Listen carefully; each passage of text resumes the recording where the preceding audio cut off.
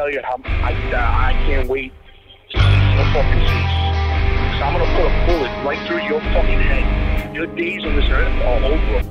I, so I should have killed you the first time. I will not fail again. I will not fail. As God is my fucking witness, I will not fail again.